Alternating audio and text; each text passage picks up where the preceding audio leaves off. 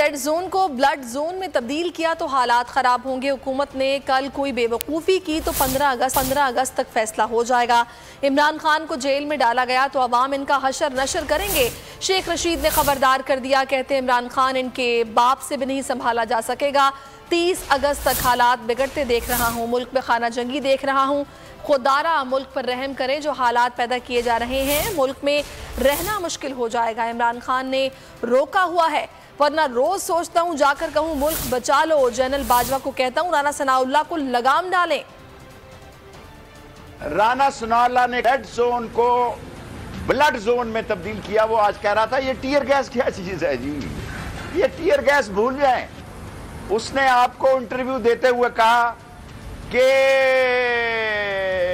600 600 मारने थे, वहाँ साढ़े छह सौ मैंने कहा टीयर गैस को मारे। मैं 30 अगस्त 15 अगस्त तक हालात को खराब होते देख रहा हूँ। ये खाना जंगी की तरफ़ जा रहे हैं, मुल्क एमरजेंसी की तरफ़ जा रहा है।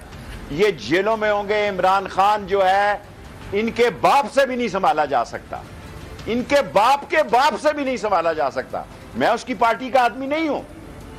मेरी ख्वाहिश है, खुदा करे कि ये खाना जंगी ना हो। ये करके दिखाएँ हुकूमत।